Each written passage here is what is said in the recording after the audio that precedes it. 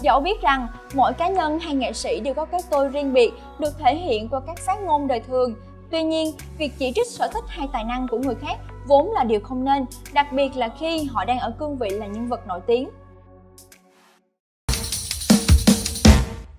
Vào ngày cuối cùng của năm cũ, sự việc liên quan đến rapper Đen và nhóm nhạc BTS đã khiến fan K-pop dậy sóng. Sau đó, nam rapper đã lên tiếng giải thích chỉ là hiểu lầm do người khác dùng thủ thuật hãm hại.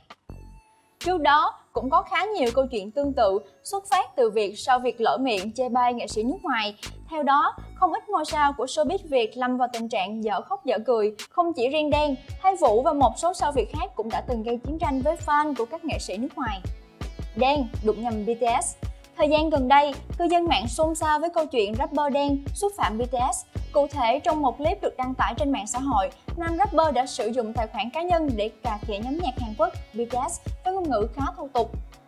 Theo đó, bình luận Mọi người vào đời bằng gì nào của nam rapper đã bị chỉnh thành câu chửi BTS ăn hại. Tuy nhiên, ngay sau đó, Đen đã lên tiếng đính chính rằng đây chỉ là hiểu nhầm và ai đó đã dùng các phần mềm chỉnh sửa hình ảnh để cố tình hãm hại mình. Hành động kịp thời và lối xử lý văn minh của nam ca sĩ 1 triệu like đã ghi điểm khá lớn trong cộng đồng fan hâm mộ K-pop. Thái Vũ ca sĩ Taylor Swift Hoàng tử indie Thái Vũ cũng đã từng tỏ thái độ không hài lòng khi sản phẩm vừa ra mắt của Taylor Swift thắng lớn tại giải Grammy.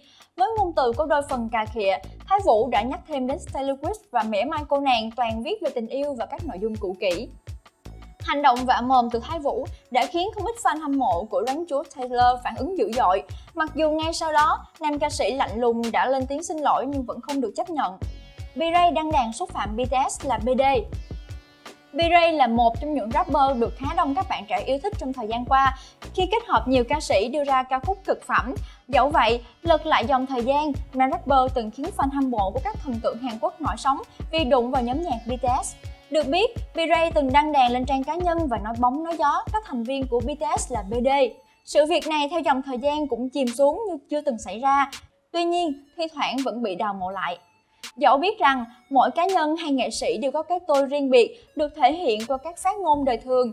Tuy nhiên, việc chỉ trích sở thích hay tài năng của người khác vốn là điều không nên, đặc biệt là khi họ đang ở cương vị là nhân vật nổi tiếng. Với những hành động gây chiến của sao Việt đối với các thần tượng nước ngoài, bạn nghĩ cách cư xử của ai là tài tình nhất? Hãy cùng chia sẻ bên dưới nhé! Nhớ bấm nút xem đầu tiên để không bỏ lỡ những chương trình hấp dẫn nhất từ Giang nhé!